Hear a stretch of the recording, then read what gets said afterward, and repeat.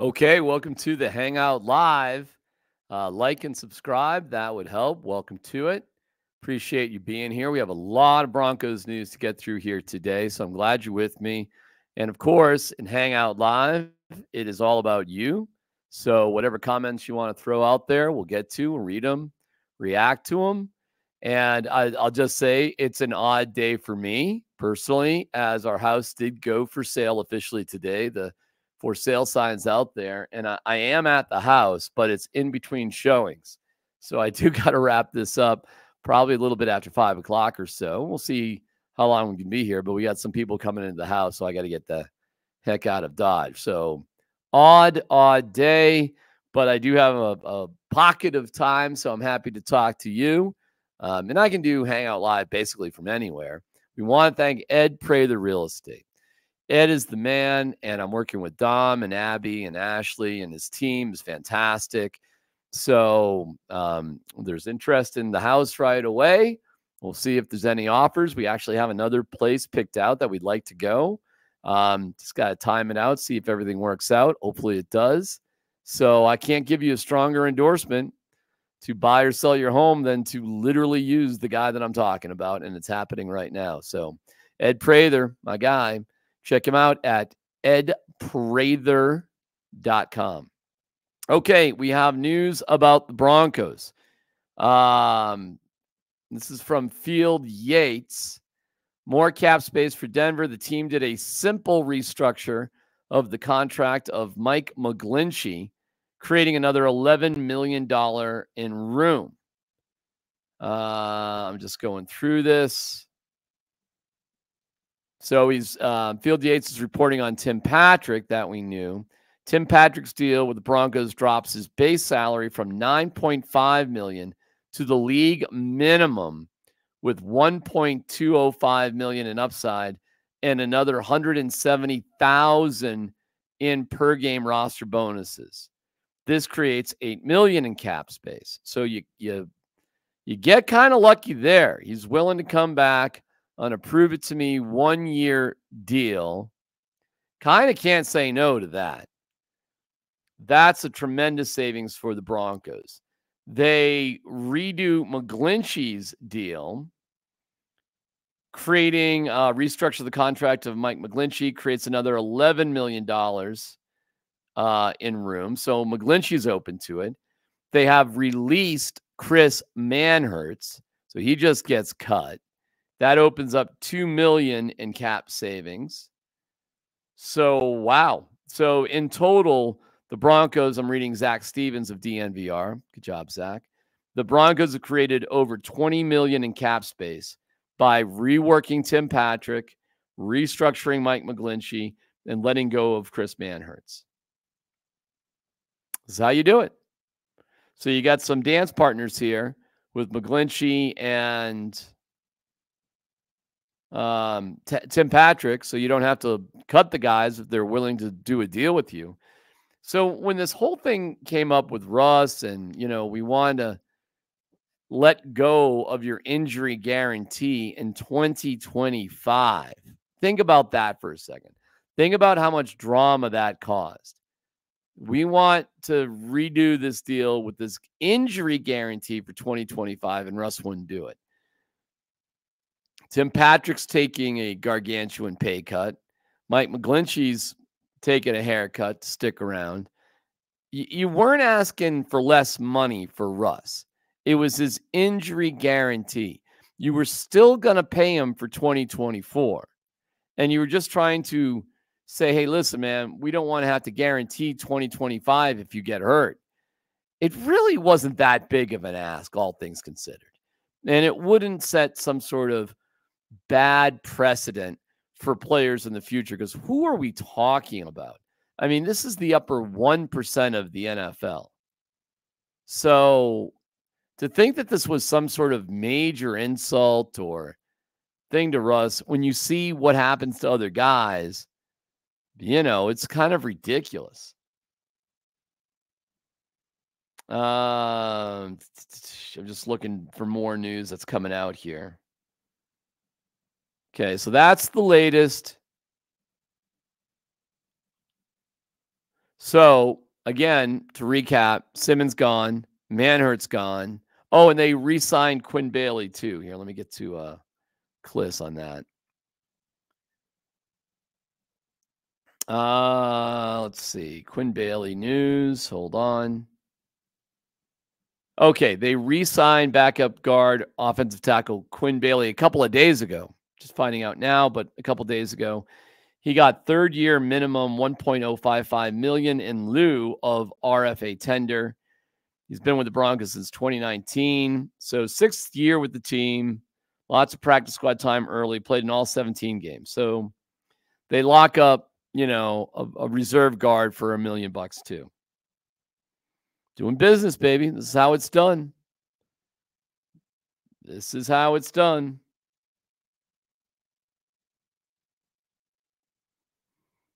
Okay, and we'll see what other news comes out. So obviously they're they're wheeling and dealing here, um, and I would expect some sort of news on Jerry Jeudy at some point, and some sort of news on Courtland Sutton.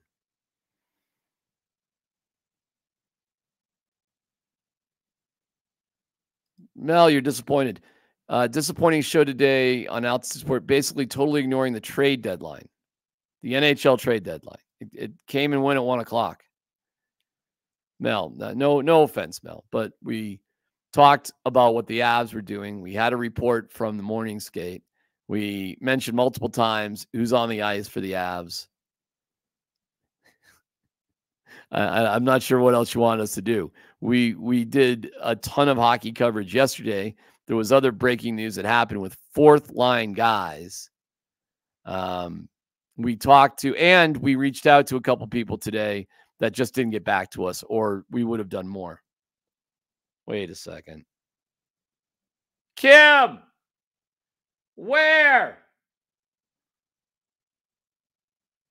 What's going on? Oh my god we have such drama here at the house you can't believe it. I have good news to report because I, got to admit I was a little bummed out going in because of something personal I was not going to mention.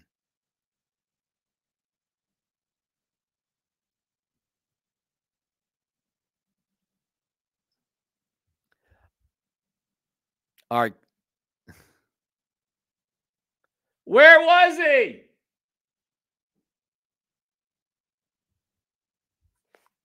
Hold on. I'm on my podcast. Where was he? Are you coming on to the podcast?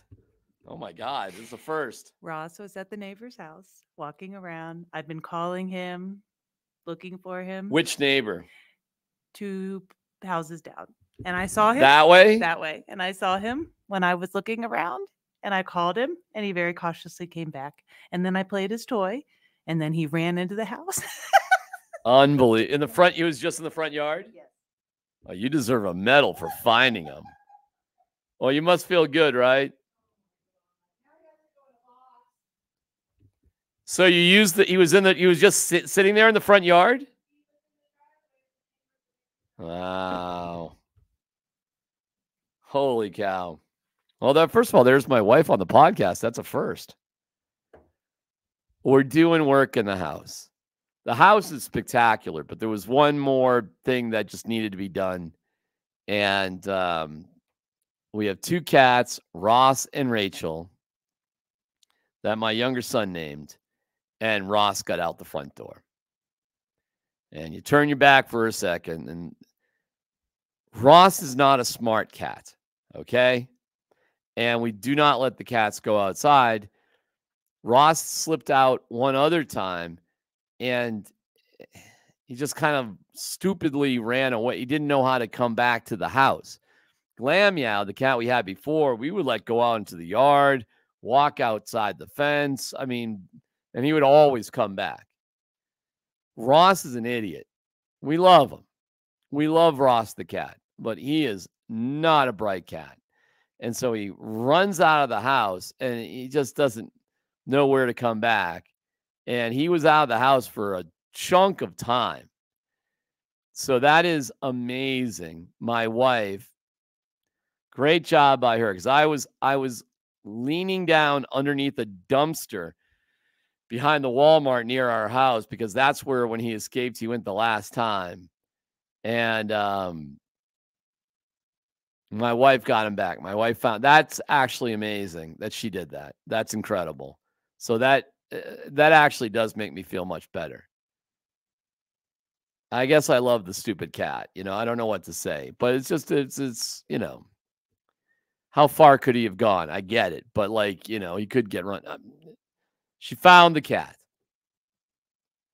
There's there's there's there's there's the cat found. So the irony is we got to stick him in a box cage, carrying case, because we have other people coming to look at the house. So, Jesus Christ. All right, Ross the cat. Sorry to interrupt the podcast with that, but uh all right, all right, all right, all right, all right. Uh, what are the cap? Uh, that's a good question. What the cap number now is? I'm not quite sure. Let's see if we get some more information on that. Uh, let's see. Well, I don't I don't have information on that now, but they're getting there. Well, don't forget too. Not only do you have to be under the cap, you have to give yourself enough enough room to sign your rookies or whatever free agents you want. So you may want a free agent or two. You can't do probably a blockbuster deal. So you, you got it. And I don't know what they're going to do with Russ's contract. And they're probably trying to figure that out now. Are they going to go heavy, like 50 million this year and 30 something next year? Or are they going to split it up um, a little bit more equally? So don't know. Good question, though. But uh, I'll try to do some digging out, try to figure it out. Uh, Mel, there wasn't really any news today outside of Myers getting traded for a pick to Anaheim. All right. Well, there you go. Guess that's your feeling, DMAC. It came and went. No talk about what happened today. Mel, come on now. Uh, Vegas got oh, so Mel, you're all upset about this stuff. All right, okay, all right. Well, listen, Mel, we did talk about what happened with the Avs. The bigger news was yesterday when we talked a lot about it. Um, but we did talk about it today. We didn't go through the entire NHL. We had I, I feel good about what we did with the Avalanche today. Okay, I do. I really do. Um, cat. Yeah, I got two cats. I just told the cat story.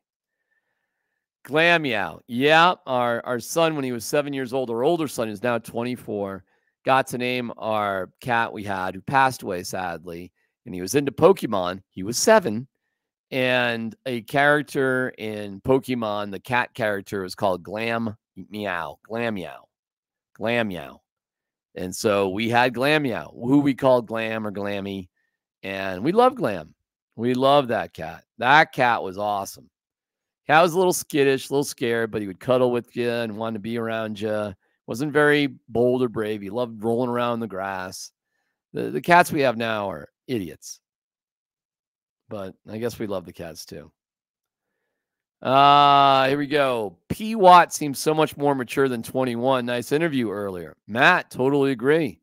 It's great to have Peyton Watson on. I thought he was terrific. I thought he was absolutely fantastic. Let me see if I can do something here. Peyton Watson. This might uh, change things up just a tad. Uh, Peyton Watson. Yeah, here we go. Oh, I don't have that. Oh, well. He was great. Peyton Watson was great. I knew he would be great, and he was great. Period. Great young man. With the hockey, please stop with the Landy stuff. I love him too, but he's not coming back. That is, uh, I I think that's true. Yep.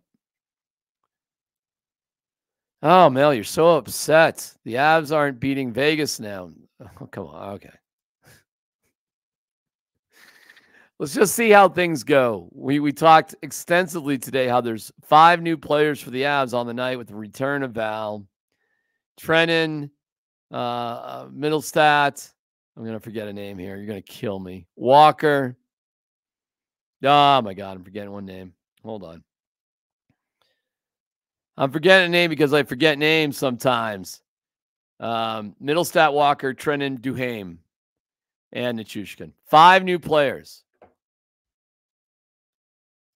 Uh, okay. You didn't say one word about the most important move, Hertl to Vegas.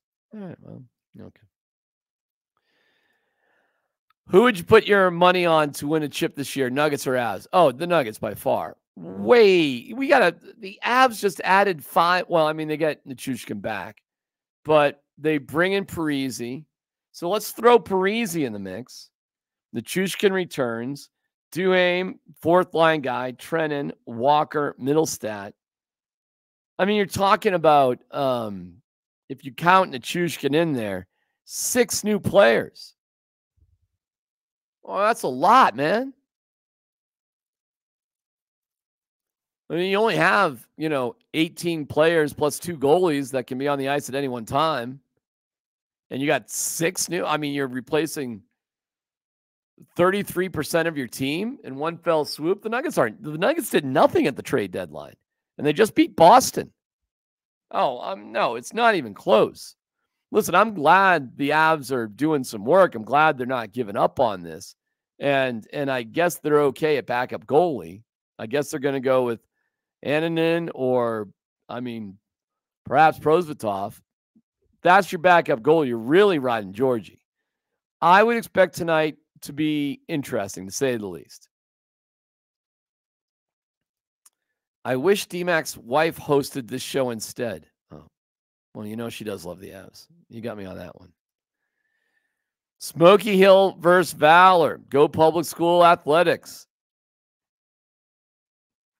I got a, a note from Brock Heward today saying, Go Valor.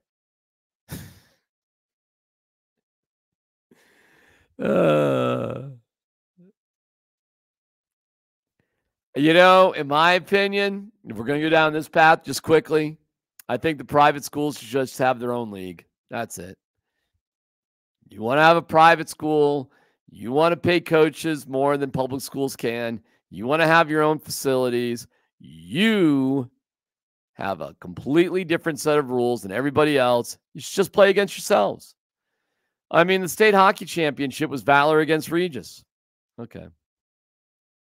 And I uh, boo hoo if there's not enough private schools to compete against, but I mean, that's my opinion. That's where I'm at with it. So I don't dislike Valor. I don't dislike Regis or Kent or Colorado Academy or any of the others that are around. But I, I just think they have a crazy advantage over public schools. But hey, it'll make uh, Smoky Hill beating Valor all that much sweeter. So hopefully my Buffs win. They have never won a state championship.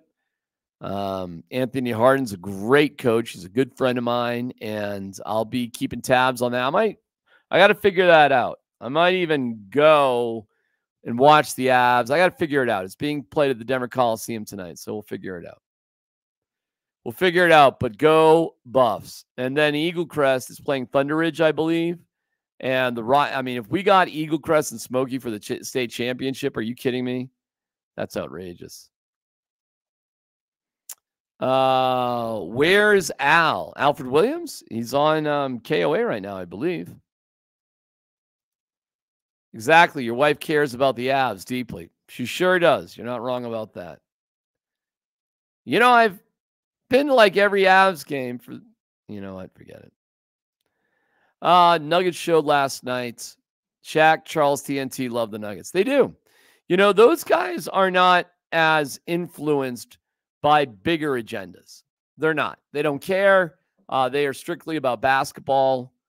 Um, their show isn't predicated on pushing some sort of East Coast agenda.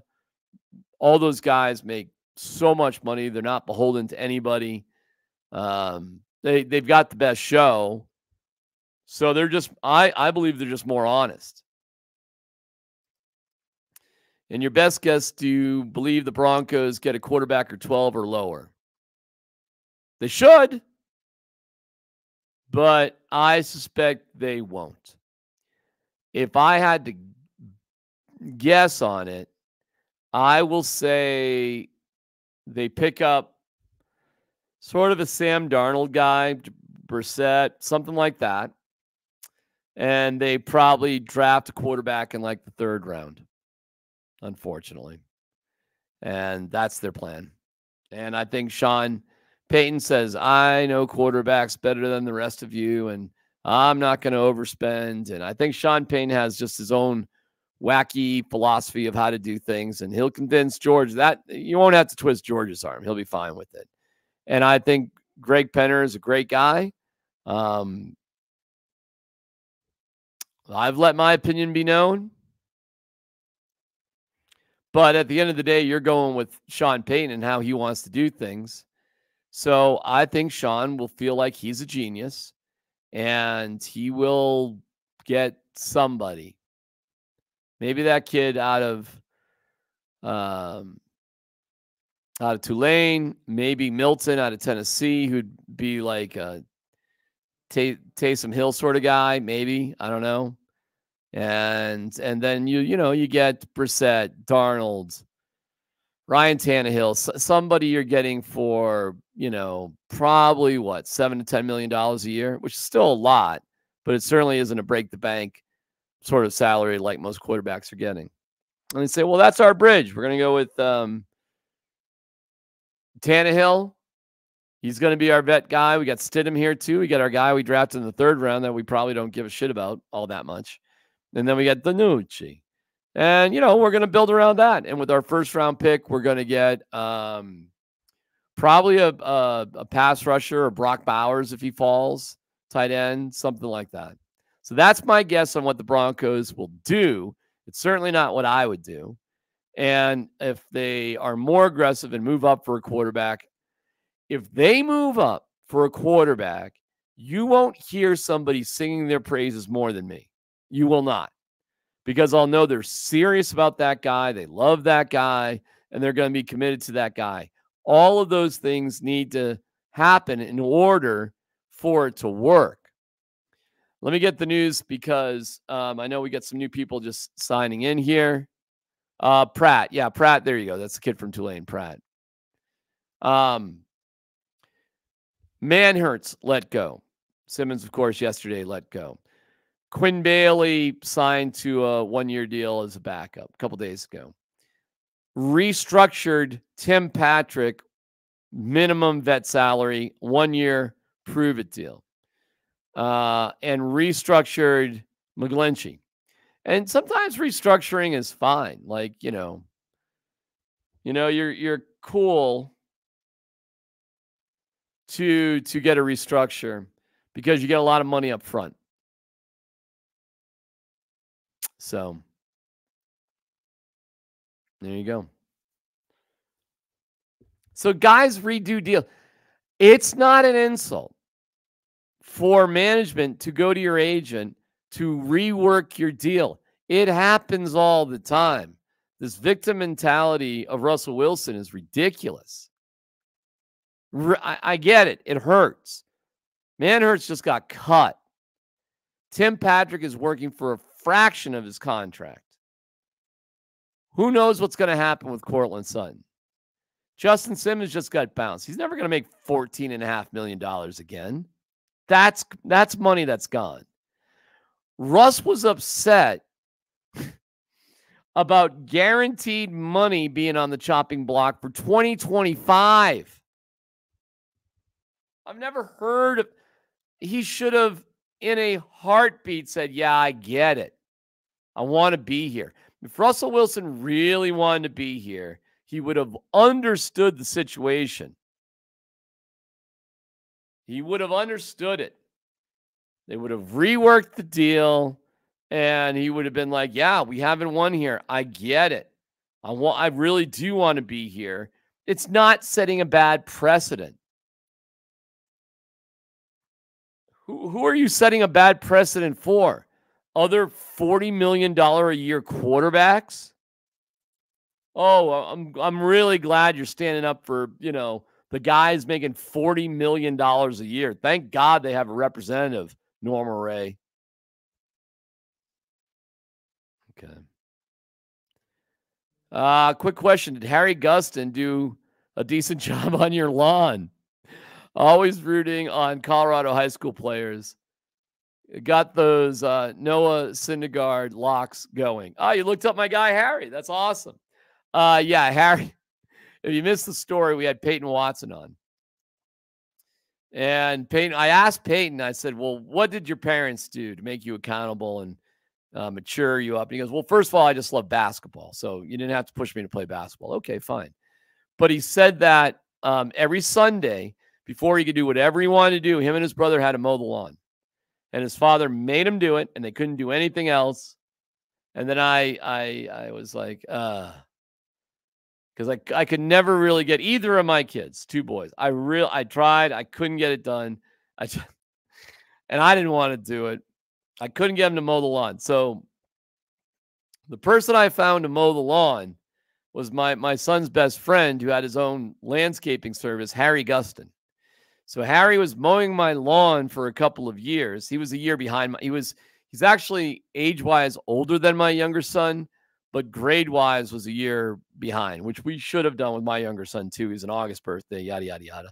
So they were they were great friends, same age, but in different grades. So when my son went off to college, Harry was still around, um, and and we helped Harry in the recruiting process, just getting it going. And he got recruited by the University of Hawaii. You can look all this up. And he was there. Uh, he pitched there for two years. He was their main pitcher last year. He was um, all Big West Big West, I think. Um, are they Big West or Mountain Coast Conference? West Coast Conference. I think Big West. All Big West. And there's only three pitchers that get that designation.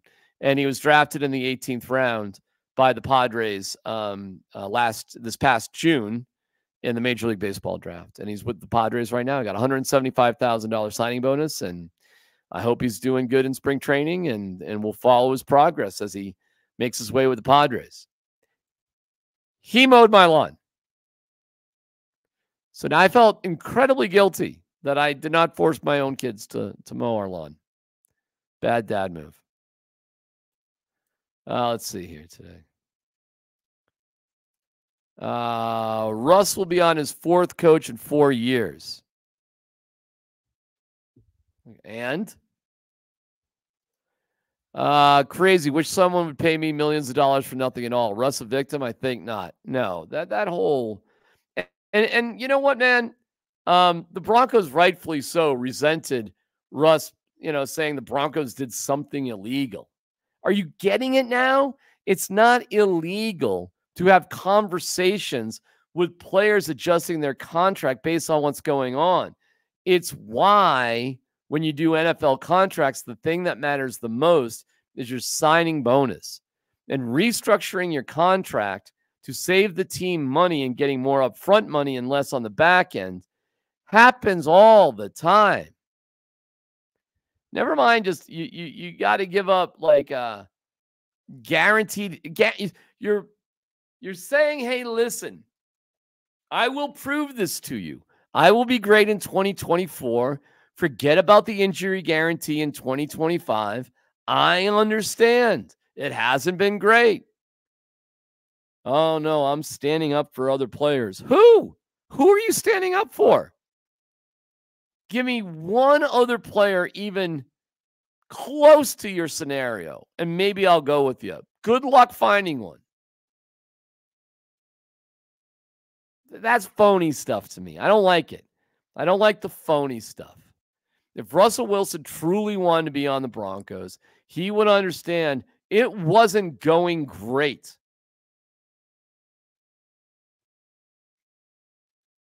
So, okay. Not sure if you caught it, but Joker hit the uh, TNT post game interview with my friend in one of his answers. That's funny. I did not get it. I did not see it. I was at the game.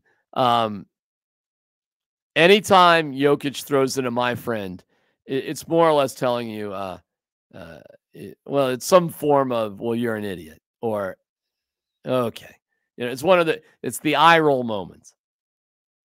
It, it's a way for him to sort of put you in your place um, without being overly rude. Where can I get the recipe for Latvian lasagna? Uh, Charles Barkley said that about Porzingis. Porzingis should be so much better than he is. So much better. So much better.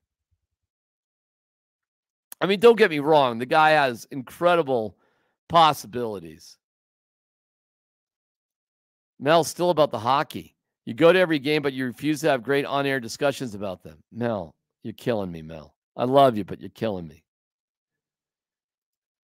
Uh, let's see what else we got here. I have to wrap this up relatively soon because um, we're showing the house and I'm going to get over to the Avs game. So I got to kill some time. I'm not sure what we're going to do. Maybe we'll go out to dinner, me, my, me and my wife. Maybe we won't. Maybe I'll go work out. I don't know. I'm not gonna lie, I'm a little tired tonight. It's been a it's been a great week, an awesome week, I'm so grateful for everybody watching and participating. Oh wow, I did not catch that. Erik Johnson traded the Flyers today. Ooh. End of careers can suck. End of careers can stink, man. They can suck. How long you want to go for? So EJ is a great guy. We all love EJ. So I hope he's doing all right. Well, that's the way it goes, man. Sometimes you stumble to the finish line, but you're still pro athlete, still playing. Good win for the Nuggets. Yes, Michael. Indeed. Have a good weekend, D Mac. Wilson to the Raiders. No. well, he was with the Giants. He's interviewing with the Steelers, and supposedly the Raiders have interest too in Russell Wilson. Uh, okay. Uh, Michael, the Lakers lover, claps when the pilot lands the plane. oh my god, that's great. All right, well let me let me wrap things up by summing things up. If you missed it, the Broncos. Let's see if I can remember off the top of my head. They got a deal done with Quinn Bailey as a backup a couple days ago. Low money, no big deal. They restructured Mike McGlinchey. They let go of Chris Manhertz. The McGlinchey move saves them 11 million. Manhertz saves them um, 2 million. Um, let me go to my cheat sheet here just to make sure I get it. I think I got it basically. Uh, okay. The Broncos are now, I'm reading from Zac Stevens, DNVR. Thank you, Zac. The Broncos are now roughly 18 million under the salary cap. Okay. Tim Patrick restructured his deal, opens up 8 million. McGlinchey restructured his deal, opens up 11 million. Manhertz open up 2 million in cap space. Of course, dump Justin Simmons. Uh, did a new deal, like I said, with Quinn Bailey. There you go. The Patriots appear open to trading Mac Jones. Teams have been calling them and doing their work on their starter. Zac's Mac Jones appears to fit what Sean Payton likes in quarterbacks. Okay. Well, we'll see. We'll see. Wills, I don't love it. I don't love it for the same reasons I wouldn't want Fields. It's not a long term commitment. You don't get as many years. Um, but Sean Payton says he knows these guys better. I really don't. I, I, the the more of these mocks that I watch, the more that I realize what the Broncos situation is, the less likely they are to move up. And if you're not willing to move up, you're talking about getting the fifth or sixth quarterback in the draft. While that doesn't bother me, it just seems that that is not what the Broncos with six draft picks are going to do. So acquiring Mac Jones, drafted a quarterback in the third round, struggling with that. Seems like a much more likely scenario for the Broncos. But free agency opens up in five days, and it's always exciting. Uh, the start of free agency is always exciting. So we'll see what happens. All right. I got to go. People are going to look at my house. Thank you to my friend Ed Prather at Ed Prather Real Estate. Get the details with Ed Prather at edprather.com. He'll sell your house guaranteed, just like he's helping me out. Hey, Mel, we'll go. I'm going to the Avs game tonight. So hang out with me. We'll talk all about hockey tonight, nonstop. That is, unless I go to the Smoky Hill basketball game. Go Buffs.